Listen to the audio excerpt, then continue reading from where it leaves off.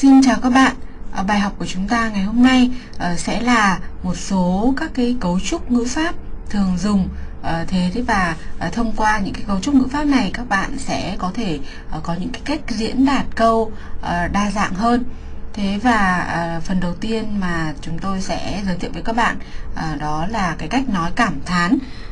Đây là một cái đuôi kết thúc câu mà biểu thị cái ý nghĩa ngạc nhiên hay là uh, cảm thán thế và khi đi với tính từ thì nó sẽ có một dạng khác và khi đi với tác động từ thì nó có sẽ có một cái dạng khác. Thế và cái phần đầu tiên chúng ta đi vào đó là uh, tính cái cảm thán uh, trong uh, động từ. Tức là khi kết hợp với động từ thì nó uh, sẽ có dạng như thế nào. Uh, trước tiên mời các bạn nhìn lên bảng thì uh, chắc là các bạn thấy uh, cảm than hyung. Cảm than hyung có nghĩa là uh, cảm thán à, cảm than các bạn cũng thấy là cái âm của nó rất là giống với tiếng cảm thán chữ giả cảm thán của chúng ta bởi vì đây là cái từ xuất phát từ tiếng Hán. Thế và thùng xà là động từ. À, với trường hợp là các cái động từ thì à, khi mà nói cảm thán thì chúng ta sẽ nói như thế nào? À, trước tiên thì là à, các cái động từ đó sẽ lấy cái thân từ thân từ của động từ tức là cái thân từ và bỏ tà đi đó. À, thân động từ kết hợp với nên quần nhỏ. Nên quần nhỏ. Đây các bạn nhìn thấy ở đây. Kết hợp với cái ngữ điệu của chúng ta chúng ta nói uh, như thế nào mà để thể hiện được cái cảm xúc của chúng ta vào đó thì nó sẽ trở thành một câu cảm thán. Uh, tôi xin lấy một cái trường hợp à, một số cái trường hợp ví dụ cụ thể như sau. Ví dụ với động từ mộc tà. Chắc các bạn cũng vẫn còn nhớ cái nghĩa của từ này rồi đúng không ạ? Mộc tà có nghĩa là ăn. Uhm, mực thì khi mà nó kết hợp với cả cái đuôi cảm cảm thán thì nó sẽ thành mực nên cuốn nhỏ mực nên cuốn nhỏ. Và ca tà có nghĩa là đi đúng không các bạn? Khá nên cuốn nhỏ khá nên cuốn nhỏ. Thế và trà tà trà tà là ngủ. Trà nên cuốn nhỏ trà nên cuốn nhỏ. À, và động từ irönada tà có nghĩa là thức dậy ngủ dậy. 일어나는군요. 일어나는군요. Và trong cái cấu trúc ngữ pháp này thì nó không có một cái trường hợp bất quy tắc nào cả, nó không có biến đổi gì cả. Nó được áp dụng với tất cả các cái trường hợp là, là động từ thì đều áp dụng đều đều kết hợp với cái đuôi nên của nhau. Ờ, thế cho nên là các bạn sẽ thấy là nó rất là dễ thế và à, vào câu ví dụ cụ thể thì chúng ta tôi đã có một số những cái ví dụ cụ thể như sau các bạn đọc cùng tôi nhé 과일을 먹는군요 과일을 먹는군요 có nghĩa là gì các bạn nhỉ ờ, 과일 là hoa quả à hóa ra anh anh đang ăn hoa quả đấy à anh ăn hoa quả đấy à ở đó là những cái câu ví dụ như vậy tiếp theo uh, 한국어를 공부하는군요 한국어를 공부하는군요. À, anh học tiếng Hàn Quốc đấy à? Bạn học tiếng Hàn Quốc đấy à? Câu tiếp theo. 아직 안 일어나는군요.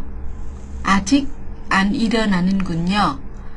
À, 아직 là một cái gọi là nó là một cái cái cái ờ, phụ từ đứng là đứng đằng trước ờ, động từ. Thế và nó luôn đi cùng với ờ, với những cái động từ mà ở dạng phủ định. Tức là vẫn chưa vẫn chưa. Hoặc là có một số trong một số trường hợp thì có thể dịch là vẫn thôi. Ở đây là à, Iranata là ngủ dậy đúng không các bạn? Thức dậy. Thế và an cái từ an đứng trước cái Iranata đó thì cũng là cái mang cái nghĩa phủ định à, tức là à bạn vẫn chưa dậy à bạn vẫn chưa dậy hóa ra là bạn vẫn chưa dậy à anh vẫn chưa dậy à đó, ví dụ những cái là, là, là trong cái trường hợp như vậy 아직 안 일어나는군요 câu tiếp theo 소설을 읽는구나 소설은 읽는구나 à, đây là một cái trường hợp mà nói nhưng mà ở dưới dạng là là 반 hàn mang tức là nói chống không tức là nói với người dưới nói không không không sử dụng cái đuôi câu kính trọng ấy. thế còn cái kunyo có bản thân có cái đuôi yo ở đây đã là đã là thể hiện cái sự kính trọng đối với người đối, đối diện rồi thế thế còn ở trong trường hợp mà là uh, chúng ta muốn nói panma tức là nói nói chống không đấy với những người ít tuổi hơn hoặc là với bạn bè thân thiết thì chúng ta cái ờ, dùng cái đuôi là ninkuna tôi sẽ viết ra để cho các bạn nhớ. Tôi sẽ ghi ở bên cạnh đây. Nhân của nà. Của nà. Đó là những cái đuôi câu uh, cảm thán dùng với động từ thế nhưng dùng theo cách là panman tôi sẽ ghi cái từ panman ở đây để cho các bạn. Ma các bạn vẫn còn nhớ đúng không? Ma là lời nói thế còn thàn pan tức là tiếng hán là bán tức là một nửa. Tức là nói kiểu trống không nói không có đầu có cuối. Đó thì người ta gọi là pan man tức là nói trống không nói với người ít tuổi hơn với người mà mình uh, không không sử dụng cái cách nói kính trọng. Đó là cái uh, đuôi câu cảm thán mà dùng với động từ nên ninh mùa mua nên quần nhỏ nên quần nhỏ còn nếu à, với à, trường hợp mà không kính trọng thì chúng ta dùng là nên quần à uh, các bạn có thể lấy thêm một ví dụ liên quan đến à, cái cái cái trường hợp này mà ví dụ như là chúng ta thử dùng nên kuna không nào? Mời các bạn các bạn hãy tự suy nghĩ trong đầu xem. Ví dụ như là à, có một câu là à, à anh đang làm bài tập à. Anh đang làm bài tập à bạn đang làm bài tập à chúng ta sẽ nói như thế nào các bạn? tôi sẽ ghi ra đây thế và các bạn hãy uh, tự kiểm tra xem là mình viết có đúng không nhé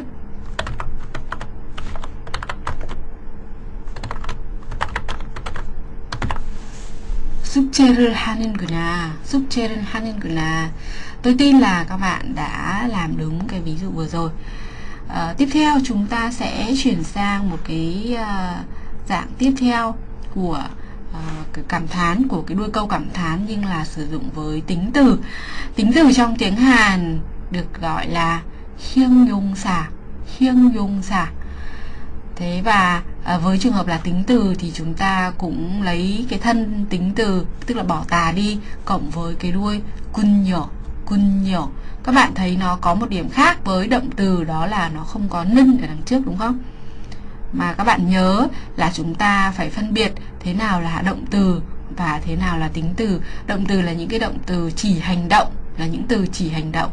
Thế còn à, tính từ là những cái từ chỉ tính chất hay là chỉ, chỉ trạng thái hay là chỉ một cái trái, thái độ gì đó à, thì thì là chúng ta sẽ sẽ uh, quy nó vào tính từ và chúng ta phải sử dụng cái đuôi câu là uh, nhiều và bỏ lên để đằng trước đi tôi lấy một số ví dụ một số cái trường hợp uh, là tính từ mà chúng ta có cái đuôi câu dùng sử dụng cái đuôi câu cảm thán như sau các bạn đọc cùng tôi nhé 예쁘다 예쁘군요 예쁘다 예쁘군요 맛있다 맛있군요 맛있다 맛있군요 멋있다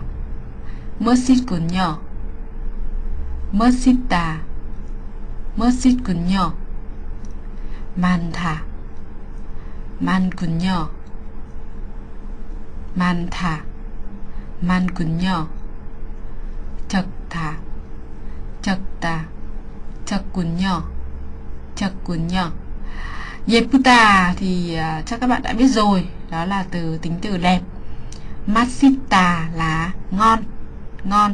Thế còn um, không ngon thì là gì các bạn có thể đoán ra được không? Mát là vị. Nếu mà tách riêng ra mát có nghĩa là vị còn ít tà lá có có vị tức là ngon. Thế còn nếu mà nếu như tương tự như vậy mà suy ra thì chúng ta có thể suy ra cái từ uh, không ngon là gì ờ, không các bạn các bạn có thể nói được không? Là mát siộc tà. Mát ộc tà chính là không ngon không có vị gì cả từ thứ ba Mosita Mosita tôi đã cố tình à, để hai cái từ này cạnh nhau để cho các bạn có thể so sánh. Nó chỉ khác nhau, có một cái chữ a và chữ ơ thôi. Mersita là ngon, còn Mersita là à, trong tiếng Việt của chúng ta có thể dịch là là hay khi mà người ta à, nói đến một cái miêu tả, một cái hành động nào đấy của một người, ví dụ như là anh ta có cái phong cách, có cái phong thái rất là hay chẳng hạn thế rất là rất là lịch thiệp rất là hay. Thế và cái tính cách hay là một cái hành động nào đó khi mà người ta muốn muốn khen một cái đối tượng nào đó thì là người ta dùng cái từ này musita à, và khi uh, kết hợp với cái đuôi cảm thán thì nó là mercy của nhỏ Ờ, thế và với à, tính từ nhiều màn thả màn thả. Các bạn chú ý là à, khi đọc cái từ màn thà này thì chúng ta phải luyến cái âm hiệt lên cái chữ à, thi gật ở đằng sau. Cho nên nó sẽ thành nó không sẽ không phải là màn tà nữa mà nó sẽ phải là màn thà. Các bạn nhớ đây là những cái quy tắc phát âm mà tôi đã giới thiệu. Ngay từ đầu các bạn phải ghi nhớ để áp dụng vào à, đọc trong những cái trường hợp như thế này. Màn thà và à, khi kết hợp với cảm thán thì nó sẽ là màn cùn nhỏ tiếp theo uh, đối à ở uh, đây không phải là tức là màn thà thì là nhiều thế còn uh, câu à, từ đối nghĩa với nó là chật tà tức là ít ít chật quần nhỏ. Thế và tương tự như cái trường hợp của tính từ à từ xin lỗi các bạn tương tự như với trường hợp của của động từ đó thì nếu như là panman thì nó cũng là uh, uh, kuna. momo kuna và bỏ nên để đằng trước đi cũng cũng vợ với cái vẫn cái đuôi là kuna như của động từ thế và tôi sẽ à, đưa ra một số những cái ví dụ cụ thể mời các bạn cùng xem 그 아가씨가 예쁘군요. 그 아가씨가 예쁘군요. Ví dụ rất là đơn giản và dễ đúng không các bạn? Chắc là các bạn đã biết hết rồi mà tôi cũng không cần phải dịch nữa. 어, 한국 전통 음식이 맛있군요. 한국 전통 음식이 맛있군요. Hàn Quốc thì các bạn đã biết rồi, Hàn Quốc. Trần thùng âm xích, âm xích là món ăn. Thế và trần thùng, các bạn thấy nó có giống cái âm gì của chúng ta không? Truyền thống. Giống cái từ truyền thống của chúng ta đúng không? Đấy chính là xuất phát từ xuất phát từ tiếng Hán. Cái món ăn truyền thống Hàn Quốc à, quả là ngon, thật là ngon đúng không? 맛있군요. Thế nếu như chúng ta chuyển cái câu này sang uh, 반말 thì chúng ta sẽ nói như thế nào các bạn? 한국 음식, 한국 전통 음식이 맛있구나. Đấy, là khi mà chúng ta chuyển chúng ta nói như vậy và các bạn nhớ chú ý là nên thêm một chút cái cái cái cách nào à, cái cái ngữ điệu uh, như thế nào đấy thì để người ta cảm nhận được đấy là câu cảm thán. ví dụ thứ ba 우리 선생님이 성격이 멋있군요. 우리 선생님의 성격이 멋있군요. Uh, tính cách của thầy giáo chúng tôi rất là hay. Tính cách của thầy giáo chúng tôi quả là rất là hay. 우리 선생님의 성, 성격이 멋, 멋있군요. 성격 là uh, tính cách. Ví dụ tiếp theo. 날씨가 춥군요. 날씨가 춥군요. 날씨 là thời tiết đúng không các bạn? 춥다 là lạnh, thời tiết lạnh quá thời tiết quả là lạnh. Thế và ngược lại với nó ví dụ như là từ ấm áp là gì các bạn còn nhớ không? Ta tức tha tả đúng không ạ? Ta tức tha tả vậy thì uh, nếu như nói và theo cái cái cái cách nói panma thì nó như thế nào ạ? Nansika ta tức hakuna nansika ta tức hakuna good job. Uh, tiếp theo uh, ví dụ như là những cái trường hợp này. Kuakashiga yeppukunyo nếu các bạn chuyển sang nói cách nói ban Panman thì nói thế nào?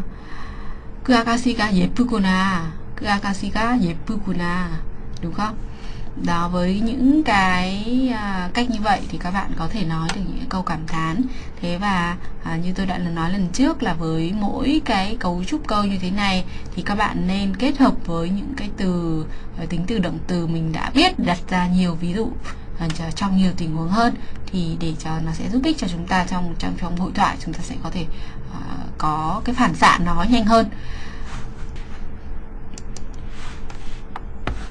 Mời các bạn sang phần tiếp theo. Uh, đó là cái cấu trúc a ơ pô tả có nghĩa là uh, thử làm một cái việc gì đó.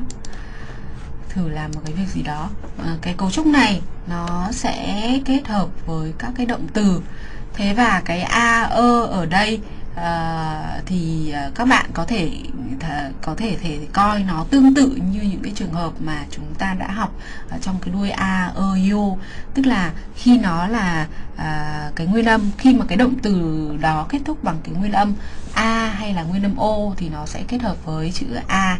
Thế và nếu như có cái động từ đó là các cái nguyên âm còn lại kết thúc bằng các cái nguyên âm còn lại thì nó sẽ kết hợp với chữ e. ơ uhm, thế và mời các bạn đi vào những cái ví dụ cụ thể như sau 이옷 한번 입어보세요. trước tiên các bạn đọc cùng với tôi đã nhé. 이옷 한번 입어보세요. 이것 한번 먹어보세요. 이것 한번 먹어보세요. 웃어보세요. 웃어보세요. 이것을 써보세요. 이것을 써보세요. 저 구두를 한번 신어 보겠습니다. 저 구두를 한번 신어 보겠습니다.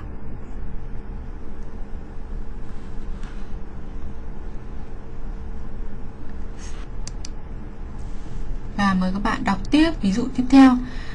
그 음식의 맛을 봐보겠습니다. 봐보겠습니다. Các bạn các bạn đọc lại một lần nữa. 그 음식의 맛을 봐보겠습니다. À, chúng ta xem lại từ ví dụ đầu tiên.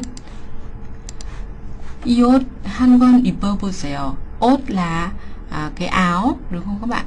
Thế và han bơn han han là một bơn là lần một lần và ịp tà có nghĩa là mặc à, và câu câu này sẽ là à, xin chị hãy mặc thử cái áo này một lần xem xin hãy mặc thử cái áo này một lần xem Thế và ở đây ờ, Iperposeo, uh, ipta Cái từ động từ nguyên dạng của nó là ipta.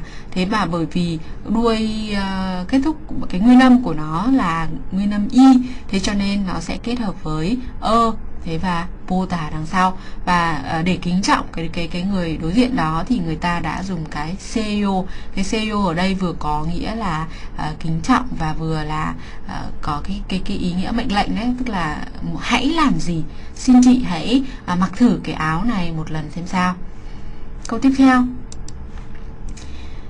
이것 한번 먹어보세요. 먹어보세요. 이것 là cái này à, xin hãy ăn thử một lần xem sao xin hãy nếm thử một lần xem sao đúng không các bạn mg tương tự như uh, câu trên thì cái nguyên âm ơ nó cũng sẽ kết hợp với ơ thế và poseo ở đằng sau câu thứ ba 웃어보세요 웃어보세요 câu này thì đơn giản đúng không các bạn 웃다 có nghĩa là cười à, xin hãy cười lên xem nào 웃어보세요 câu tiếp theo là 이것을 써보세요 이것을 써보세요 sơ tà sư tả vừa cái động từ nguyên dạng của nó là sư tả tức là à, dùng. Như tôi đã nói với các bạn là cái từ sư tà này nó có ba nghĩa là viết là một dùng là hai và đắng là ba. Thế và ở đây thì là người ta sẽ đã sử dụng với cái nghĩa là à, sử dụng. À, xin hãy dùng thử cái này xem sao vì nó là cái đuôi à, nguyên âm phụ âm ư thế và cái phụ âm ư này sẽ bị à, cái nguyên âm xin lỗi các bạn nguyên âm ư sẽ biến mất đi và thay vào đó là à, nguyên âm ơ trường hợp tiếp theo 저 구두를 한번 신어보세요. 저 구두를 한번 신어보세요. 구두 là giày đúng không? Cái đôi giày kia và 한번 cũng là một lần. 신어보다 Xin tà có nghĩa là đi giày Đi cái cái cái động từ đi Không phải là đi lại mà là đi giày đó. Thế, Và nó là nguyên âm ờ, y thì cho nên là nó kết hợp với ơ là cho nên là thành ờ, uh, sinopuseo tà. Thế và ở đây là uh, người ta gọi là đây là đây là câu khẳng định đúng không các bạn? Cho nên nói là à, chờ cultural hanbon sinopokesimenta tôi sẽ đi thử cái giày này một lần xem sao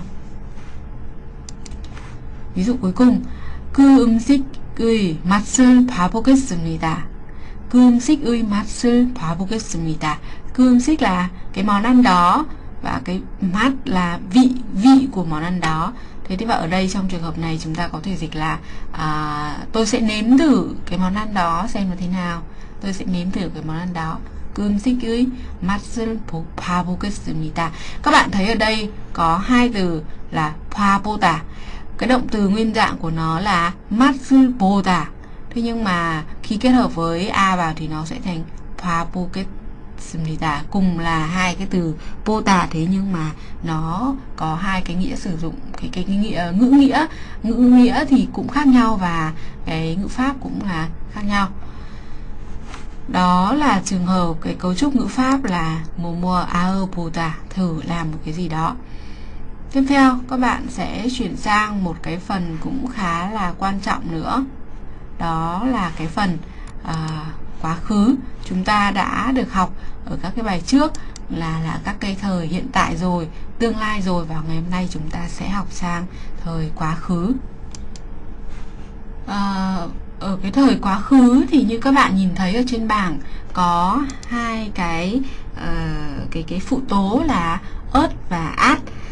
Ờ, thế và các ờ, cái phụ tố này thì nó biểu hiện biểu thị cái sự hoàn thành của hành động trong quá khứ và khi thân động từ kết thúc bằng các cái nguyên âm um, o hay là nguyên âm a thì nó sẽ kết hợp với at thế và khi thân động từ kết thúc bằng các nguyên âm khác thì nó sẽ kết hợp với uh, ớt.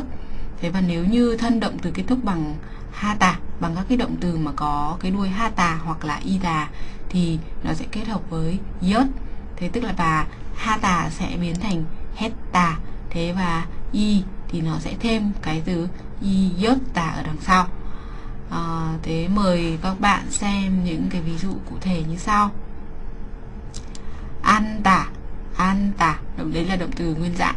Thế và khi kết hợp với cái phụ tố uh, của, ờ, của thời quá khứ thì nó sẽ trở thành an anjasumita anjasumita thế và đấy nếu như kết hợp với đuôi ở đuôi dạng a yo đó thì nó sẽ là anjaseo anjaseo tiếp theo kata thì nếu khi kết hợp với quá khứ nó sẽ thành katsumnita người ta không ờ, tách ra ka xong rồi lại at atsumnita ở bên cạnh nữa mà người ta nối liền luôn nó vào và trong cái từ kata bởi vì nó cùng là nguyên âm a thế cho nên có dạng là katsumnita.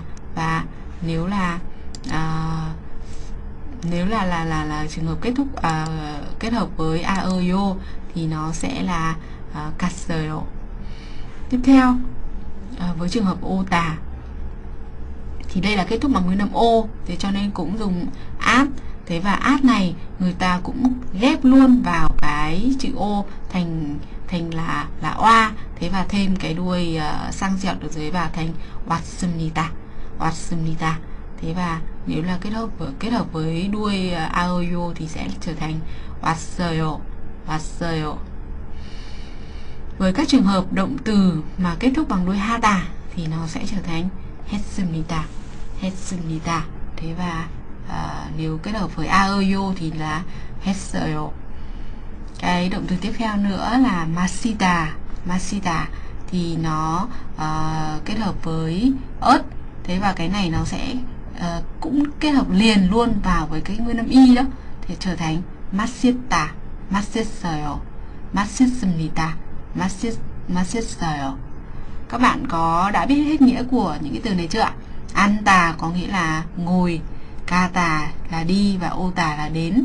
Mùng một ha tà thì là làm, thế và masita là uống.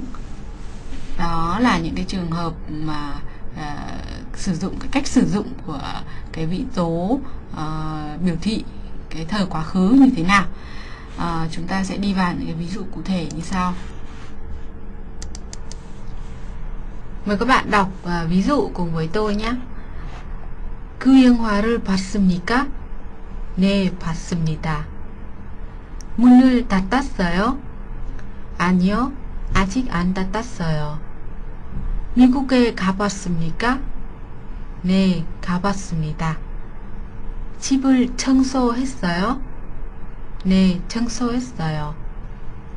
어제 무슨 날이었습니까? 어제 스승의 날이었습니다. Các bạn đọc lại một lần nữa nhé. 그 영화를 봤습니까? 네, 봤습니다. 문을 닫았어요? 아니요, 아직 안 닫았어요. 미국에 가봤습니까? 네, 가봤습니다. 집을 청소했습니까? xin các. 집을 청소했어요? 네, 청소했어요. 어제 무슨 날이었습니까? 어제 스승의 날이었습니다. về à, nghĩa, câu đầu tiên thì chắc là các bạn à, đã biết nghĩa rồi. Ờ, đã, bạn đã xem cái phim bộ phim đó chưa? Vâng tôi đã xem rồi.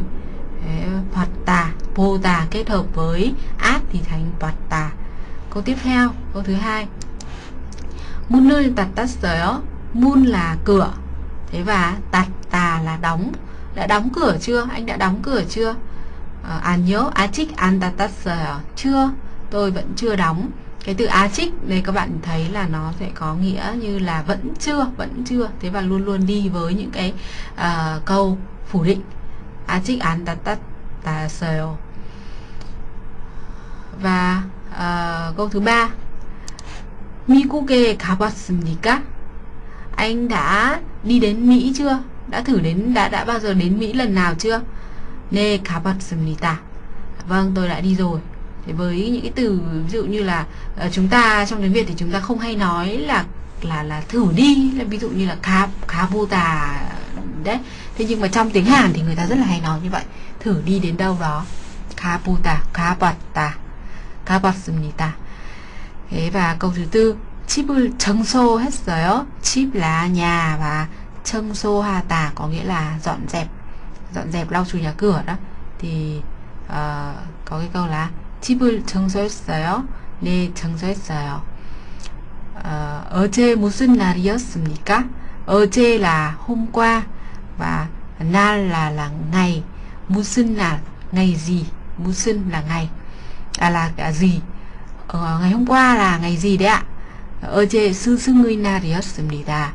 스승의 날 có nghĩa là ngày uh, của các thầy cô giáo ngày ngày uh, hiến trương các nhà giáo đó sư sưng là là là là, là giáo viên. Thế và na là à, ngày cho nên sư sư người na ngày của các thầy cô giáo. Đây là trường hợp à, sử dụng với y tà thì cho nên là nó sẽ kết hợp với cái yết là yết tà. Đó là những cái trường hợp mà có đuôi câu quá khứ và bây giờ chúng ta sẽ sang một cái trường hợp khác cũng vẫn là trong thời quá khứ thế nhưng dùng sử dụng với tính từ. Thì à, nó cũng với những cái quy tắc tương tự như vậy. Nếu như mà là o và a nguyên âm o và nguyên âm a thì sẽ kết hợp với at. Còn à, nguyên âm à, ơ này rồi là e này à, xin lỗi các bạn e ơ này hay là o à, hay là u này hay là ư này hay là y này thì sẽ kết hợp với ớt. Và những cái ví dụ như sau. 좋다 tốt 좋습니다 좋았어요 재밌다 재밌다 cái 재밌다 này nó có nghĩa là thú vị thế nhưng mà uh, các bạn có thể tách nó ra nguyên nghĩa đúng ra của nó là các nó phải tách ra là 재밌다 tôi sẽ uh, viết ở đây cho các bạn dễ hình dung 재미있다 재미있다 thế nhưng mà đây ở đây thì tôi đã viết tắt là 재미있다 các chúng ta có thể dùng như vậy thế đấy là đấy là thú vị và không thú vị là 재미없다 재미없다 thế và trong trường hợp này là 재밌다 재밌었어요 아 재밌습니다 thế và à, nếu kết hợp với 아어요 là 재밌었어요 예쁘다 예뻤습니다 예뻤습니다 à, các bạn chú ý là những cái trường hợp mà là nguyên âm ư thì cái chữ ư đó sẽ biến mất đi và thêm vào đó là chữ ơ có nghĩa là ớt 예뻤습니다 예뻤어요 많다 만났습니다 만났습니다 và nếu như dùng với kết hợp với cái đuôi uh, uh, uh, cảm thán thì là 만났군요 만났군요 các bạn đọc cùng tôi những cái ví dụ cụ thể 음악이 괜찮습니까? 음악이 괜찮습니까? 네, 아주 좋았습니다. 음악 là âm nhạc, âm nhạc các bạn thấy cái âm nó rất là giống nhau đúng không? thế và à, quên chăn thà có nghĩa là à, có được không à, có tốt không đó được hay là tốt thì có, có từ đấy ví dụ như là chúng ta vì ai người ta hỏi chúng ta cái gì đó mà chúng ta là không sao cả không sao và tốt thì chúng ta có thể nói là quên chăn 괜찮습니다 괜찮습니다 còn nếu kết hợp với đuôi a ơ yo thì nó sẽ là quên chăn này quên chăn này thế và trong trường hợp này người ta đã ở trong câu hỏi là 음악이 괜찮습니까? 네, 아주 좋았습니다. 아주 là à, tốt à là là cái từ chỉ cấp độ ấy, là rất rất thế còn chột thà là tốt. Ở đây người ta trong tiếng việt của chúng ta thì dùng là à, ví dụ âm nhạc thì phải nói là rất hay thế nhưng ở trong tiếng hàn thì người ta lại nói là âm nhạc là rất là tốt. Phải dùng với từ âm âm nhạc thì thường đi với cái từ chột thà này. Thế còn ví dụ như là xem phim chẳng hạn thì phim khi đó chúng ta mới cái dùng cái từ uh, che mịt tà tức là thú vị. Phim thì là dùng từ thú vị. Thế còn uh, âm nhạc thì phải là uh, âm nhạc hay âm nhạc tốt đó là cái cách nói của người Hàn mà chúng ta cần phải nhớ để nói cho nó đúng ví dụ tiếp theo 텔레비전 프로그램이 재미있어요? 텔레비전 프로그램이 재밌어요? 네, 재밌었어요. 재밌었어요. Um, television chính là tiếng Anh, à, tiếng Anh à là là TV. Thế còn program cũng như vậy.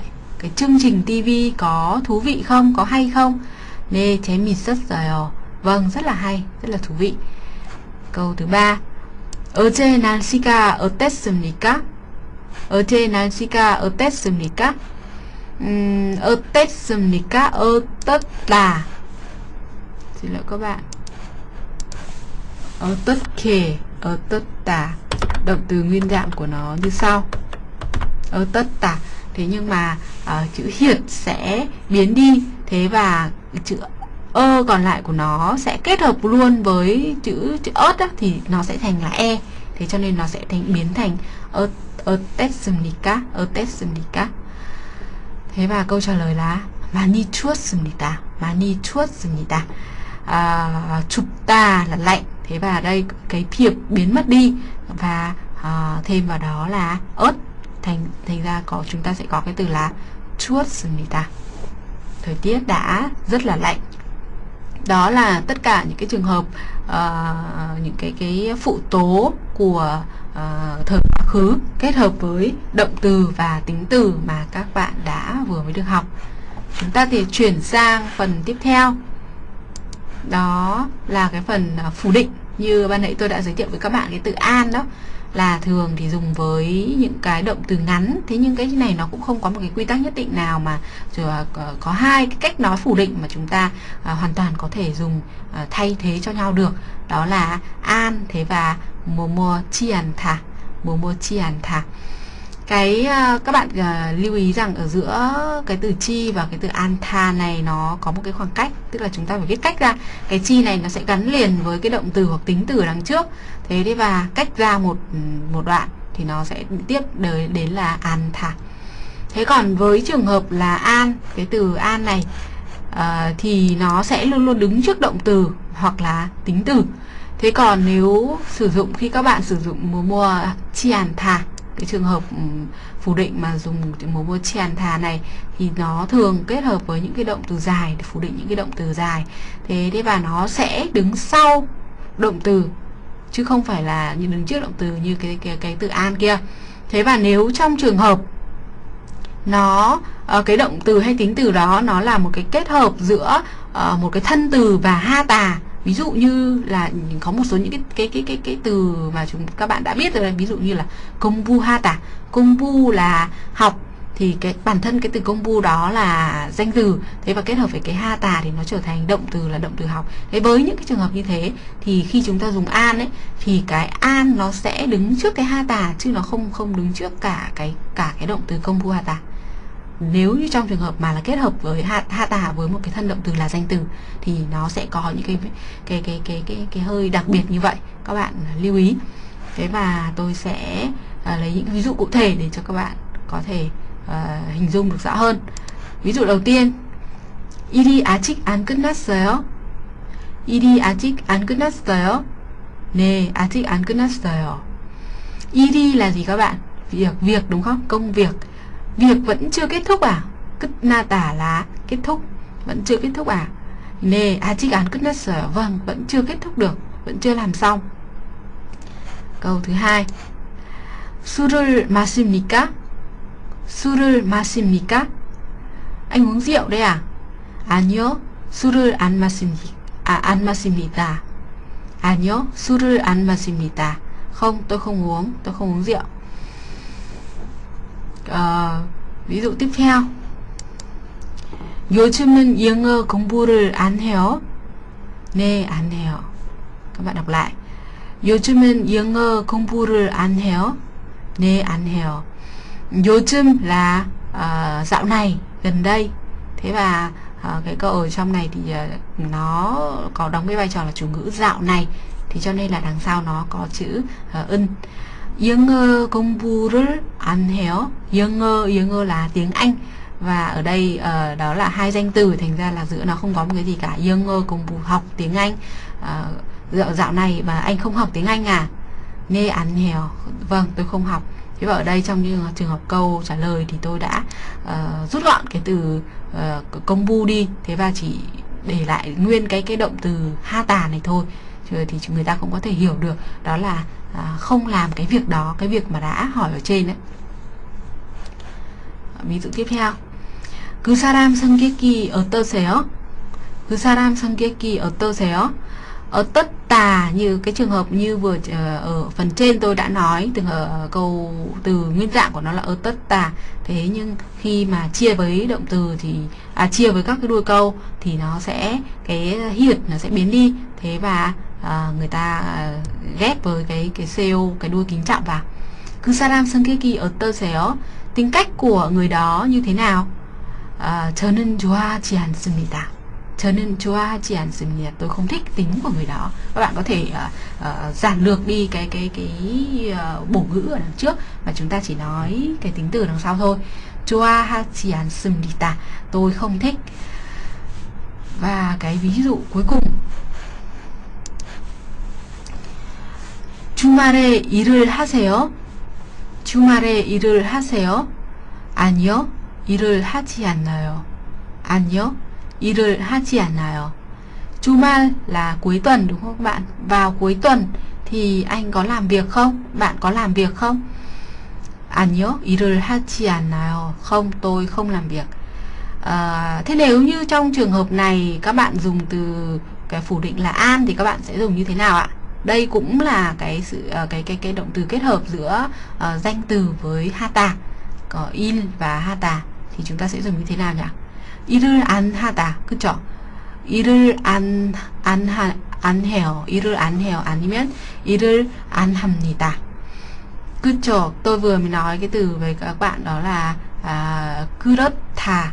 Có cái động từ nguyên thể của nó là 그렇다.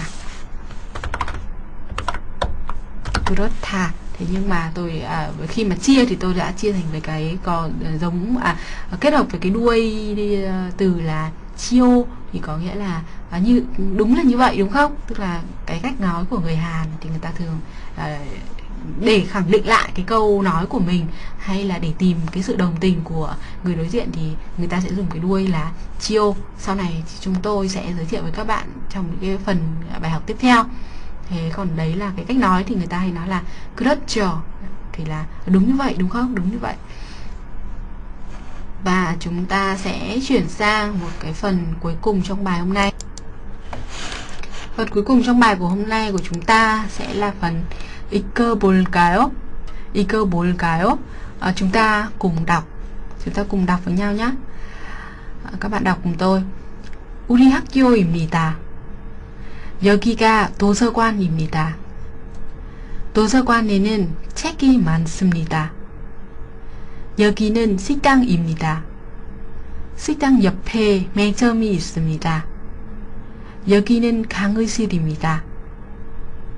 강의실, 강의실에는 학생들이 많습니다. 여기는 과사무실입니다. 우리 학교는, 학교는 크고 넓습니다. Các bạn đọc lại một lần nữa nhé. 우리 학교입니다.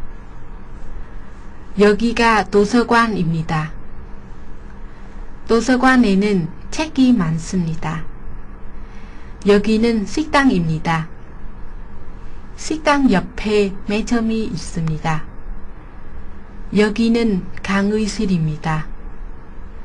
강의실에는 학생들이 많습니다. 여기는 과 사무실입니다. 우리 학교는 크고 non sunnita đó là toàn bộ cái bài đọc. À, các bạn đọc qua thì ờ, chắc là cũng đã à, đoán được phần nào cái nội dung của nó rồi đúng không các bạn? Đây là cái một cái bài à, giới thiệu đơn giản về trường học của mình. À, thế và chúng ta đọc tiếp cái phần từ mới để chúng ta biết được hết các từ. Tô sơ quan. Tô sơ quan có nghĩa là thư viện. Xích tăng là quán ăn, xích tăng. Me chơm là cửa hàng. Me chơm ở đây thì nó thường là uh, các cái cửa hàng nhỏ trong các cái trường học này hay là ở bên cạnh các cái cơ quan hay là ở trên đường có cái có các cái quán nhỏ mà bán những cái đồ uh, đồ đồ đồ đồ tạp phẩm linh tinh đó. Ví dụ như là bán sữa này hay là bánh kẹo này hay là uh, thuốc lá này những cái đồ như vậy thì là người ta gọi là uh, những cái cửa hàng nhỏ như vậy người ta gọi là nghe chơm.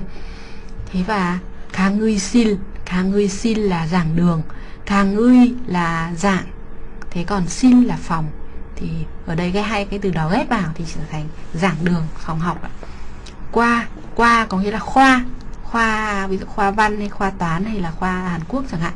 Đó thì dùng cái từ là qua uh, hoàn toàn là giống tiếng Việt của chúng ta. Thế và nó còn có một nghĩa nữa là bài.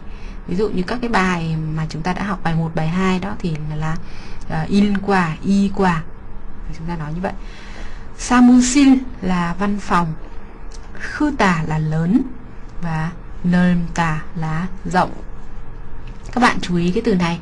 À, chúng ta đọc um, cái âm cái cái cái bạt chim ý, thì chúng ta đọc liền liền cái âm liền nơm tà.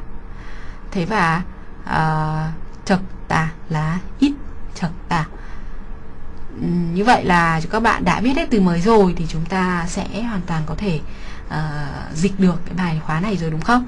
Uri 학교입니다. Đây là trường học của tôi. 여기가 도서관입니다. 여기 là ở đây. Ở đây là uh, thư viện. 도서관에는 책이 많습니다. 도서관 ở ở 에는 là uh, ở trong thư viện thì có rất là nhiều sách. 책이 많습니다. 여기는 식당입니다. Ở đây là quán ăn. 식당 옆에 매점이 있습니다. 식당 옆에 옆에 có nghĩa là ở bên cạnh, nhập là bên cạnh. Thế và cái e thì là à, luôn luôn là cái cái cái cái uh, tiểu từ luôn luôn đứng đằng sau uh, những cái từ mà chỉ phương hướng hay là chỉ địa điểm. 옆에 ở bên cạnh. Uh, 매점이 있습니다. có một cái cửa hàng.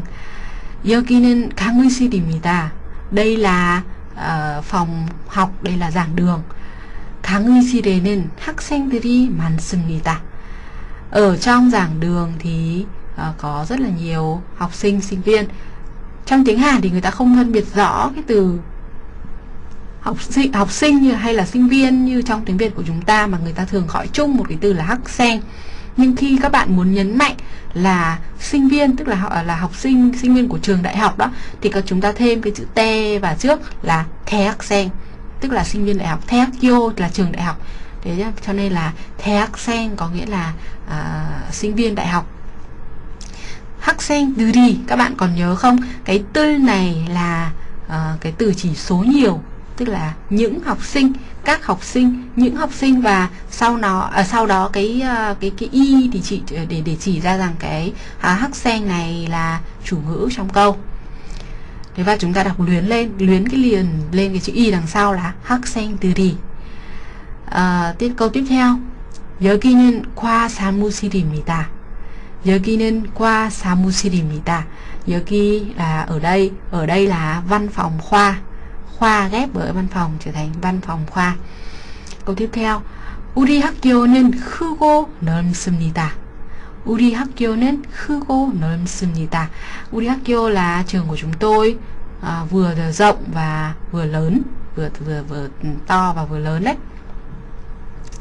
À, thế và chúng tôi lưu ý với các bạn một chút trong cái cách viết và và và và cách đọc của tiếng Hàn ấy thì Ờ, ở những cái trường hợp như thế này ví dụ như là uri hakyo imita chúng ta có thể ngắt chữ u uri thế xong nghỉ một chút hakyo imita. Thế nhưng không thể chúng ta không thể ngắt là ở giữa cái từ như thế này. Ví dụ như là u thế xong rồi ri u ri hakyo imita chúng ta nếu là một từ thì chúng ta các bạn nhớ là phải thứ nhất là viết liền thứ hai là đọc liền và nó với nhau thì người ta mới hiểu rằng đấy là một từ. Hoặc là uh, như trong những cái trường hợp y tà này cũng thế. Y tà thì thường gắn liền với cả danh từ đúng không các bạn? Thì chúng ta phải đọc liền nó. Hakyo imita. Chứ ta không đọc là hakyo imita. Lướt đoạn như thế thì vừa câu nghe nó vừa không hay mà lại uh, đôi lúc là nếu như trong trường hợp là câu dài thì sẽ dẫn đến làm cho người ta không hiểu cái gì cả đây tương tự như thế trong những cái trường hợp dưới cũng như vậy. Yokika thế và những khi có những cái tiểu từ những cái phụ từ phụ tố đứng đằng sau để bổ nghĩa uh, cho cho cho cái danh từ hay cái động từ của nó ở đằng trước ấy thì các bạn phải đọc liền vào.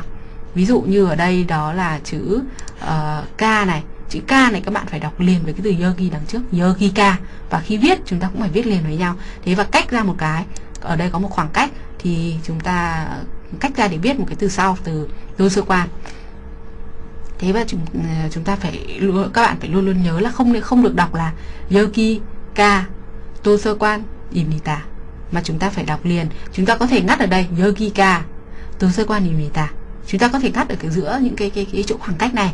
Thế nhưng khi nó nhất đặc biệt là những cái cái cái cái phụ tố những cái tiểu từ đứng đằng sau các cái uh, danh từ hay là động từ để bổ ngữ đó thì buộc là chúng ta phải đọc ghép nó vào cái từ ở đằng trước.